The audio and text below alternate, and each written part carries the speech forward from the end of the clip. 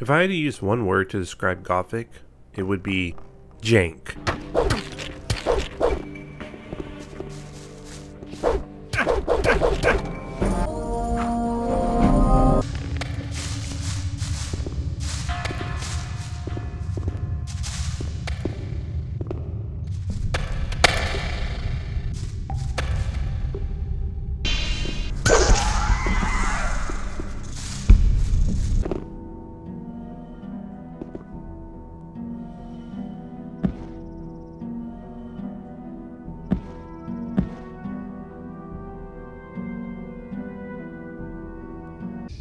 Expected to find nothing but stuffy graves and half decomposed mummies. Suddenly,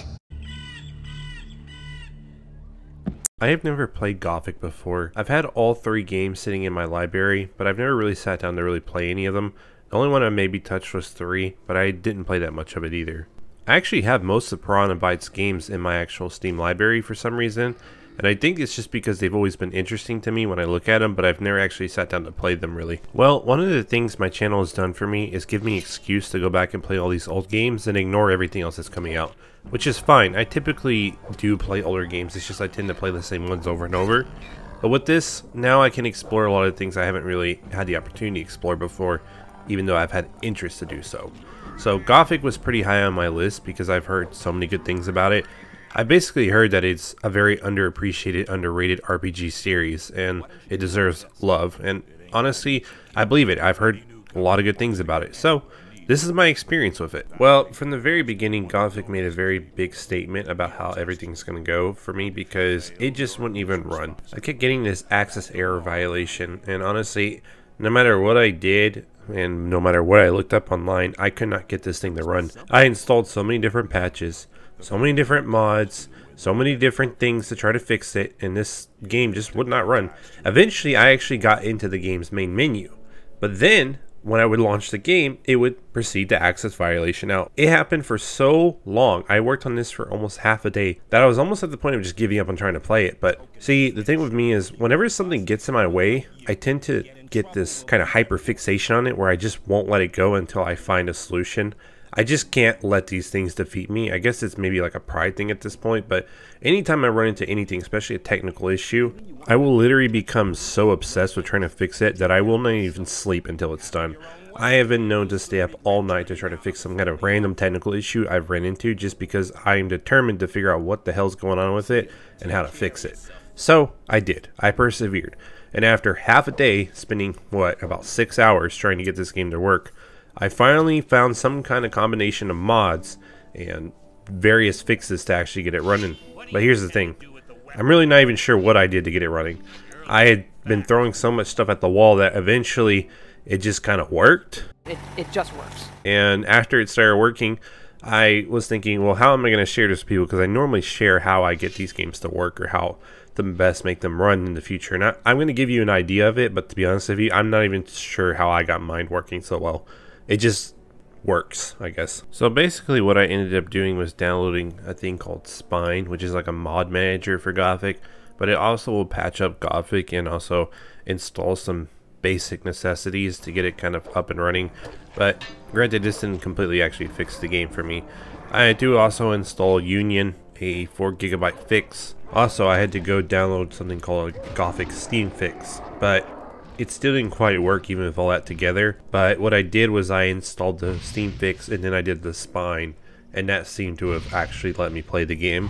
Because the Steam fix let me get into the game, not, but only through the menu. But when I opened up Spine and then I launched all the mods with it, then it finally let me into the actual game itself. I'm not even 100% sure this is actually what fixed it, but I also had to go into the Gothic ini file and I had to set the resolution, but also I had to change it so that the in-game movies that play are going to play at the original resolution because if I try to play them at upscale, they will get an access violation error as well. So between all of that, I was finally able to launch Gothic and get it running. I'm not even 100% sure what I did to fix it, like I said, because I just did all these different things to try to get it running.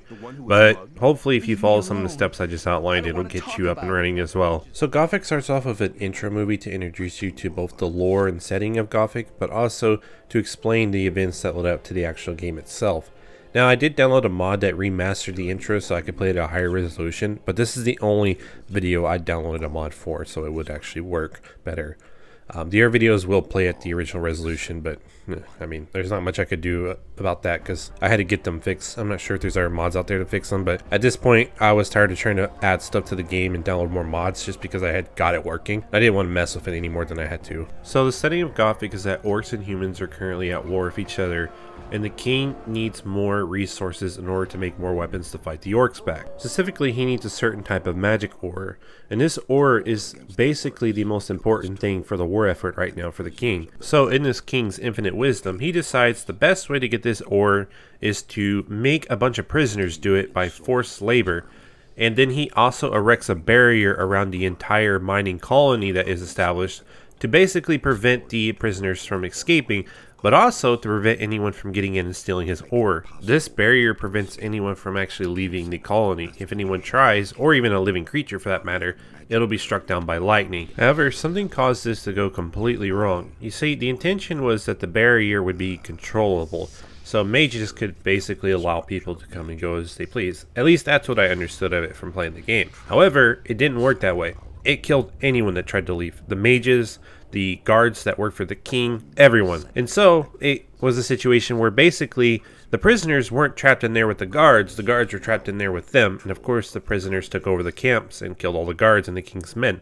Furthermore, because they were trapped inside this barrier, they decided, hey, we're going to start ransoming off this ore to the king, and he's going to have to pay us basically a pretty sum in order for us to keep providing him ore. And that's exactly what they started doing. Now, the interesting thing about the barrier is it does let people into it. It just doesn't let people out. So this is where the game starts off. You see, the barrier will let objects in and out of it because they're not living. And the barrier will also let a person into it. It just won't let people out of it. So this is where the game starts out. You are a prisoner who's being sent to the penal colony. Now, as you're about to be sent to the penal colony, a mage approaches you and says that he needs you to provide this letter to the head of the fire mages when you get into the colony. And so your character agrees because he's promised a reward for doing so. Now, this is where Gothic really sets the tone for its actual game. You see, once you arrive in the colony and you get beaten up as a hazing ritual, I guess, you meet up with a man named Diego. And Diego immediately introduces himself and tries to help you out. Now, your character politely tries to respond telling him his name. However, before you can tell Diego your name, he tells you he doesn't give a shit about your name. So, there's that. This is actually a running joke throughout the game. Every time your character tries to say his name to somebody, they always tell him they don't give a shit about his name, or they cut him off and just say it doesn't matter what his name is. And I think that's kind of funny, actually. You see, Gothic really does set its tone very quickly. It doesn't take itself too seriously. It has a lot of, you know, campiness and jokes to it, and I appreciate that. It feels kind of like a D&D group story. Yeah, there can be a very serious overarching plot line, but there's a lot of silliness in between, which I really appreciate. Speaking of which, there is something I would like to address. The voice acting in the game is, well, it's something. It's definitely not horrible. It just sometimes comes off as very out of place, I guess. Um, it, and of course, I mean, it's not great either, but it's just not like the absolute worst ever either. It's it's just kind of like if you're at a D&D table or something and people are doing their funny character voices. That's kind of how it comes off as to me. In, in which he'll contact the sleeper together with the best novices. Hey, you. What do you want? I want to warn you. If you continue this way, you'll be entering our hunting ground. What do you hunt?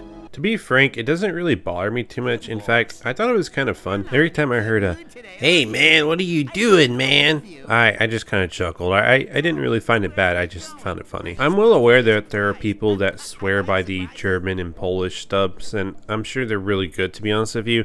I just obviously didn't play it in that, and I'm okay with playing in English, and I think the presentation on the game itself is mostly fine. Of course, I'm sure there's some people where this is a deal breaker, so if it is, maybe you should do what other people say and maybe play it in a different language and just read subtitles. While we're on the subject, I actually do want to talk more about the sound design. For example, the sound ambience in the game is actually really good. A lot of games back in the day had to really rely on more sound ambience than you know visual because of the lack of graphical fidelity. In fact, instead of describing what it, the game feels like ambience wise, I'm just going to go ahead and play a few clips and let you listen to it yourself.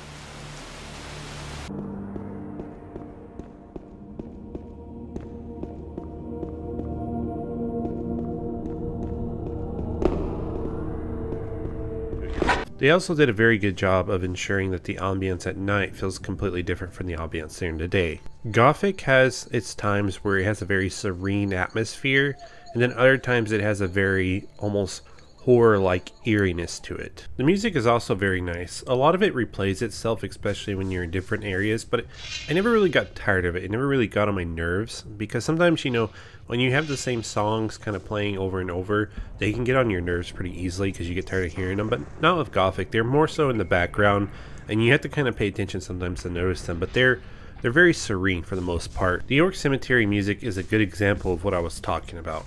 You see, it kind of has this very eeriness to it that almost makes you feel like, you know, the shadows themselves are watching you. It just feels very dreadful and at times oppressive that even when you're not in danger and you've killed every single enemy in the area, you still feel like you're in danger. I was looting mummies inside the Orc Cemetery and I felt that at any moment because of the ambiance and atmosphere that the mummy was going to come alive and grab me. I'll be honest, I really didn't even enjoy looting them even though they had really good loot because it was just so creepy. Never underestimate good sound design because it could really make or break an atmosphere. Speaking of sound design, now I have to give Gothic a bit of an L here. You see, for all the good it does with ambiance, a lot of the creatures just sound strange or downright annoying. One of the worst ones by far is the harpy. The harpy literally has this horrible shriek every time it dies and it is so obnoxious and ear blistering. And I don't know if that was the intention behind it, but it's terrible and I hated fighting him because the simple fact was every time I killed one, I was going to have to deal with an ear-piercing cry. However, that was probably my main complaint when it came to sound design in the game. The other positive to it was the combat itself. A lot of the weapons and everything felt very weighty, which honestly was pretty interesting for a game made when it was, because a lot of times I feel like weapons, especially from RPGs back then, felt very floaty because they were focused more on dice rolls, but not Gothic. It does a very good job of really making you feel like you're smacking something. I also want to talk about the game world. Gothic is very interesting in the fact that it was made in, what, 2001 it's when it came out, so it was probably in development during the late 90s, and the thing is, this game is pretty open world as far as I'm concerned. And this came out, what, the same year that Grand Theft Auto 3 came out? And everyone was very impressed with Grand Theft Auto 3, for good reasons, of course. But honestly, Gothic really takes the cake on this one because even though it's a small world in comparison to what you might be used to these days, especially, it crams so much into this little tiny space, I guess you could say. I mean, it doesn't feel tiny, I'll say that. But there's just so much crammed into this. And it's like, we play so many open world games these days where it's just a whole bunch of nothing in it. It's just a bunch of empty land, but you know, it's open world, so it's kind of cool, right? But not in Gothic. Every little piece of it is just really well done, and there's just so many hidden nooks and crannies, and I guarantee you, I didn't even find half the secrets that are in the game. Like, let's take a look at Assassin's Creed Valhalla for a brief moment, right? Assassin's Creed Valhalla is a massive world, probably like one of the biggest open world games ever, but it's just very empty. The reason why I couldn't even finish the game was because it was so empty. There just was so much empty land with not much going on with it. Yet, Gothic feels bigger than Assassin's Creed Valhalla, even though it's not even close to being bigger, just because there's so much more crammed into it. So every time you are walking from point A to point B, you have the opportunity to find secrets, find items, stumble upon enemies, all kinds of different things. It's like stakes. It's like someone gave you a T-bone steak. It's about two pounds. It's a huge steak, but it's well done and it's not well seasoned and it's tough.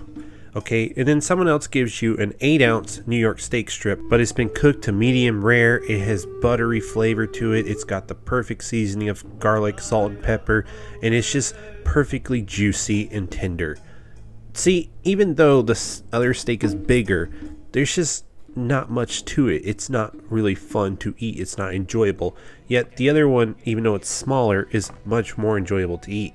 Gothic is the 8 ounce deliciously perfectly prepared steak. Sorry for the strange analogy, but honestly as a Texan it made the most sense to me. Now in regards to Gothic's world and story, I would say it's probably its strongest suit honestly and this is the biggest reason to actually revisit and play the game if you haven't ever played it before. Now from the very beginning the game does establish that there are three colonies in the game. There's the old camp, the new camp, and the sect camp. The old camp is the largest and strongest of all the camps. They've been around the longest and they have the most influence and power. It's ran by a man named Gomez, and him and his men aren't really that concerned with actually leaving the barrier as the other camps are. You see, Gomez and his men are living a life of luxury because they're the ones holding most of the ore ransom, and they're the ones that are profiting the most from the king. I mean, they were prisoners before, so why would they want to stop? They're getting everything that they want from the king. If they want the finest foods in the land and the finest wines, they get it. If they want women, they get it. If they want the finest robes of silk, the finest bed sheets, they get it. If they just want money, they also get it. Though they don't really care too much about coin. You see, ore is actually the most important resource in the entire game world. And so people don't actually trade for money, they trade for ore. The more ore nuggets you have, the more rich you are. Now, the new camp are similar to the old camp in the sense they have access to a mine and they also have a lot of ore. But they're not using their ore to actually, you know, live a life of luxury most of them are disgruntled people who just want to get the hell out of this place and so they are going to be using their ore to try to blow a hole into the barrier and knock it out so they can actually leave. They think the old camp is basically a bunch of fools because they're willing to be basically stuck in this place forever, whereas the people in new camp just want to be free. Now, from the very beginning of the game, you are told by a member of the old camp that the new camp is basically a bunch of rogues and scoundrels who will stab you for your lunch money if you don't give it to them. And while that might be somewhat true, Old Camp is definitely not much better. In fact, most of the bullying I ever got in the game were people from Old Camp, not New Camp. Now the game from the get-go intentionally tries to make you believe New Camp is not the people to be trusted. But in all honesty, if you actually look at how New Camp is, especially as you interact with them more, and the more as the story progresses, you'll learn that the New Camp people are probably the only ones with a good head on their shoulders. And finally, there's the people that live in the swamp, the Sect Camp. The sect camp is interesting because they are kind of a middle ground between old camp and new camp. They also want to get out of the barrier, but their way of doing it and what they're trying to actually do isn't really entirely getting out. Rather, it's to serve their god that they believe in, something called the sleeper. You see, they believe once their sleeper awakens, then they will be led out of the barrier and into some form of, I guess, spiritual paradise with their god. Out of all the camps, they're probably the most interesting dynamic. You see, on one hand, they seem like a bunch of crazies. They live in a swamp, they all shave their head, and they're all sitting around praying to this mythical god that no one's really ever heard of. But at the same time, they're also pretty chill people. They're very understanding, they're welcoming, you don't really have to worry about getting shivved in their camp.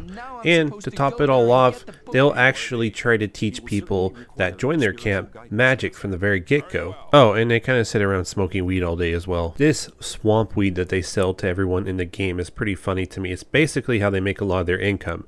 They're literally selling this out to other camps. And a lot of the names for the actual swamp weed is definitely a play on actual real life equivalents of the devil's lettuce, or I guess in this case, sleeper's lettuce. You will have the option to basically join any camp that you want. And once you do that, you will basically be setting up how your character grows. All you have to do though is do a few quests for either camp and then they'll let you in. But, for example, if you join the sect camp, you'll get magic faster than any other camp. However, that magic will be limited to like only circle 4 I believe it is. If you join Old Camp you can still become a mage but it's going to be in chapter 2 and you'll get access to every level spell that you want.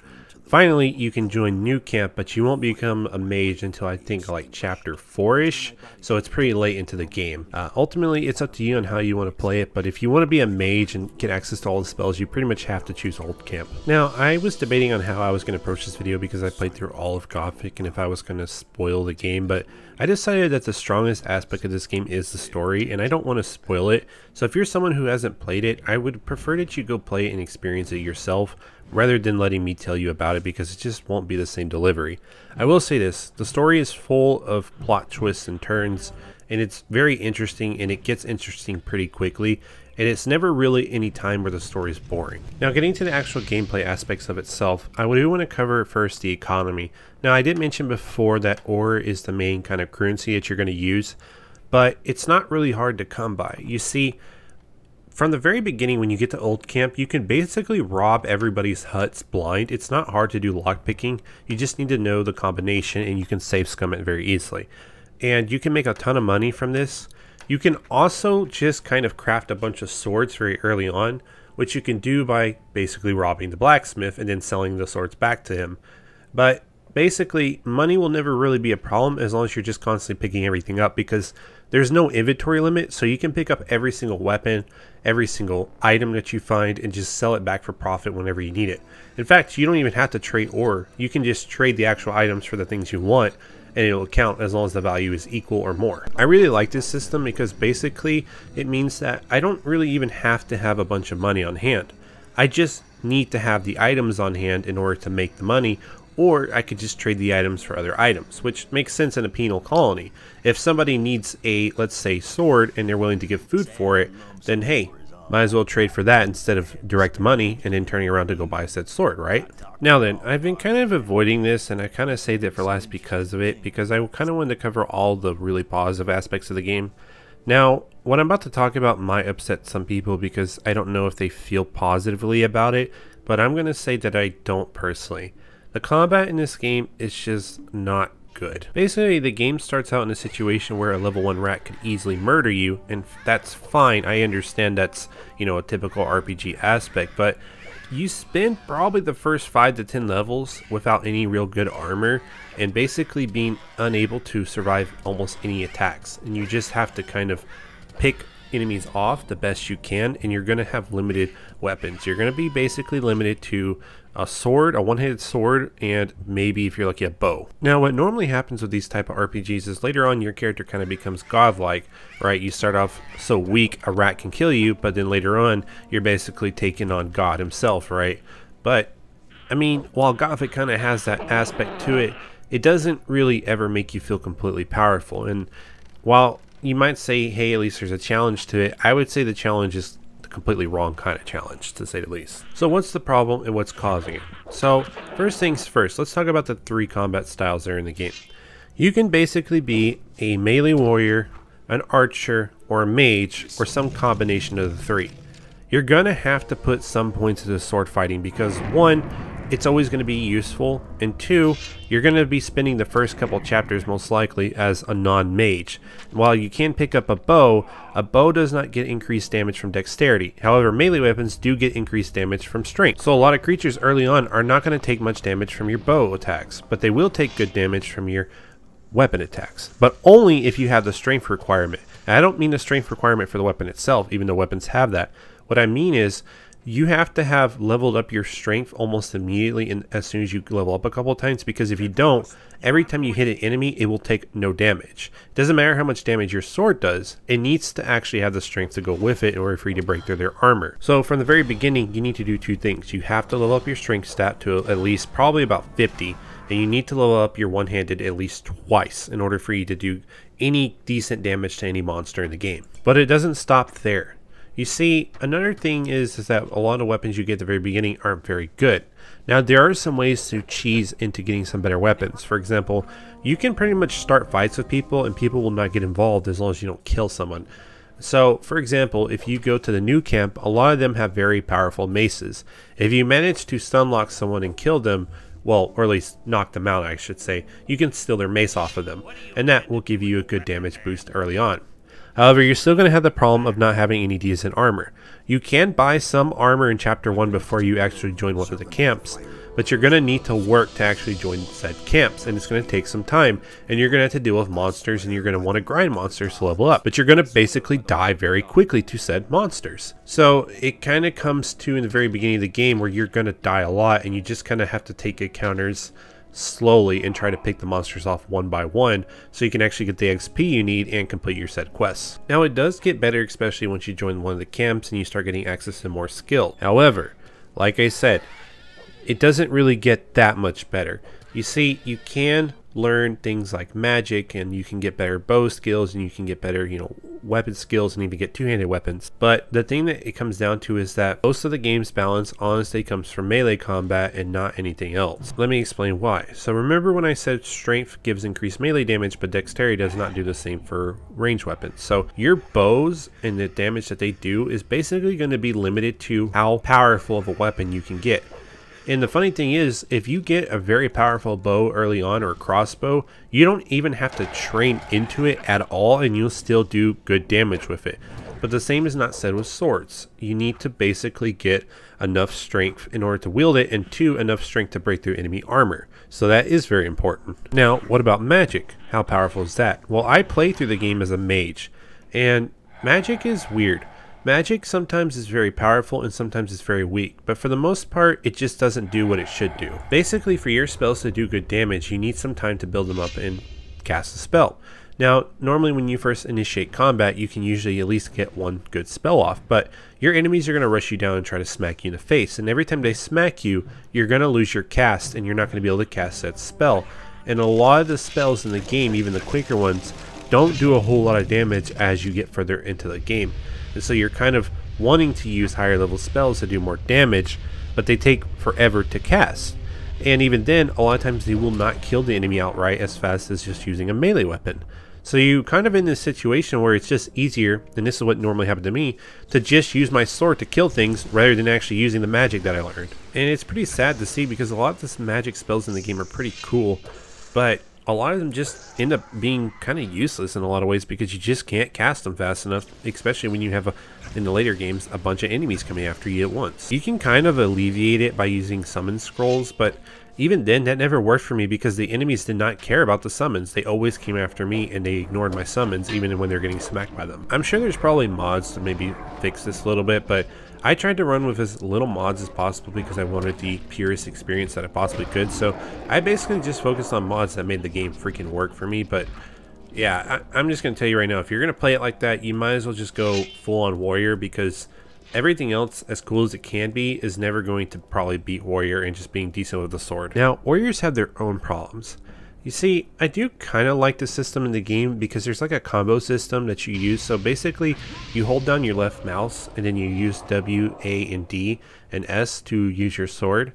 Now, the thing is that S blocks, but W, A, and D makes you swing your sword in different variations. For example, A and D are going to make you swing it side to side, whereas W is going to make you swing it forward. And if you do certain combinations as you learn, you'll actually do like combo attacks as you combine these different keys. For example, if you have a one-handed sword and you time your strikes correctly, you can do W, W, W, and you'll basically do a whole flourish in a three motion strike, which will kill a lot of enemies if you have a good sword.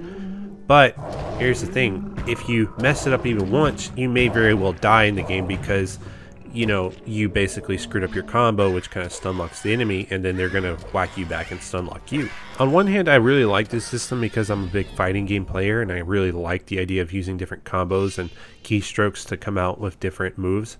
On the other hand, it feels a little clunky in the game to begin with and a little janky, so I feel like it's not that great to honestly use in a game like this. So with all that being said, yes, my opinion on Gothic is that the combat itself is not very fun, and I'm like I said, I'm sure there's mods someone can recommend you to make it better, but in its base format, I don't really like it. Furthermore, in addition to the combat, the gameplay itself is so janky. I can't tell you how many times just walking into an object by accident caused my character to get completely stuck and then crash the game or trying to jump off a mountain resulted in me trying to slide down the mountain, but then I would just, you know, freeze the game again. Or maybe just walking into a supposedly closed off area would just cause me to walk through the wall and clip through it. Or maybe I would just fall through the ground. So many weird things happen in this game. It's like the game's jank makes it so that you never know what's going to happen. It's so random. Sometimes the jank goes to your benefit, though. For example, I've had enemies because their pathing is terrible. They will just go forward to wherever you're at. They don't go around obstacles. They'll just walk off a mountain, and sometimes you'll just get XP from them falling to their death, even though they're higher level monsters. Other times, I'll run into some kind of weird invisible force field that wasn't supposed to be there because it's like on the trail path, and it'll push my character off a cliff and I'll die. So it's just weird, you know. The jank giveth and the jank taketh. That's basically all I can say when it comes to this game. There is a funny glitch though. If you ever want to get around the game world a bit faster and you basically have to jump off a mountain or something, you can actually use the helicopter technique. Basically pull out your sword, jump off the cliff or platform, and while you're doing that, hold down your left mouse button and the S key and your character will try to block and his animation will continuously reset, making him kind of look like he's doing like a helicopter spin and then he'll just land on the ground safely and never take any damage. I thought that was pretty fun. I actually like doing that a lot. But yes, expect to be fighting the game world itself as much as you're fighting enemies because basically you have to walk carefully because if you make the wrong step, the game will go all haywire and will throw everything out of whack. And it's just the nature of things, I guess. Also, there is a ton of escort missions, and all those escort missions in the bad AI pathing means you have to really babysit these characters because they will basically fall off cliffs or they'll get stuck on things if you don't pay attention, which is also very terrible. But for all its jank and all the combat issues and all that stuff, I'd still recommend playing Gothic. I still think it's a really fantastic game, and if you look at it from the perspective of 2001, you'll notice that there isn't really RPGs that were like this. This was super ambitious because think about this. This is practically an open world game with multiple choices, big open ended kind of combat, and different kinds of opportunities to kind of manage your character. And to top it off, the game also has what is essentially a fully voice acted system, even if it's not that good. It's actually very impressive for a game made back then. And honestly, if you look at the graphics from a 2001 perspective, they're actually really good too. I personally just think that what likely happened with the developers without researching too much is that they were very ambitious for this game and maybe they didn't have quite the budget that they needed for it, but they still came out with something fantastic, and there's a reason why this game is a cult classic. I did really enjoy my time with Gothic, and now I'm very interested in Piranha Bytes overall. I know they recently shut down, but I want to kind of play all the other games when I get a chance, and I'm looking forward to Gothic 2 a lot. There is one more thing I want to mention, and this is probably also going to upset a lot of the purists and people that love this game so much and know all the ins and outs. If you are a new player to Gothic and you just want to experience the story and you just want to enjoy it, and you don't want to deal with maybe installing a bunch of mods that may or may not affect the core experience, and maybe you're just struggling a lot, I have a solution for you. Just use the cheat codes. There's a bunch of them, and you can basically give yourself a bunch of um, armor stats and, and skill points and stuff. And yes, it'll trivialize the game, but at the same time, it's worth it if you just want to play through the story. I'm not saying that this is the best way to play it. I'm just one of those people who are like this. If you want to play on a game on the easiest mode with cheat codes because that's how you enjoy it, then that's how you should play it because games are for our own personal enjoyment. Don't let anyone tell you how you should play a game because it doesn't freaking matter. What matters is if you enjoyed it. So, I'll just tell you right now, it's very easy to use cheat codes. So if you want to do that and just kind of play the game as like a powerful god, just do it. Like it's the story is really good, and I don't think it's going to change that much for the game because the combat is not that great to begin with. And so when you add cheats to the mix, it honestly just can make it a little bit more uh, palatable for a newer player. I played through it without the cheats, and I played through it a bit with cheats, and I'll just say that it didn't really make a difference in my whole experience other than making it easier for me to actually experience the story. So, to each their own. Again, I know it's going to piss off a lot of people, and there's probably already someone furiously typing in chat about how I just ruined their great game by recommending this to somebody, but I- am just going to say it right now the cheats are there for a reason, and just have fun with it. Like, that's what games are for. I don't see why people have to make everything about how skilled they are. It doesn't really matter, but that's just me. If you liked the video and you want to hear more about Gothic or you want me to do Gothic 2, I'm more than happy to do that. I did keep this video spoiler free because I wanted people to experience the story more than anything. But if you would like maybe a review on Gothic based on the actual story and not me, you know, just talking about the game mechanics, I'm willing to do that as well. You guys just let me know. Let me know what Gothic means to you or if you're inspired to play it based on my video. Hope you have a good rest of your day, and please like and subscribe if you enjoyed the video and help me make more of these videos in the future.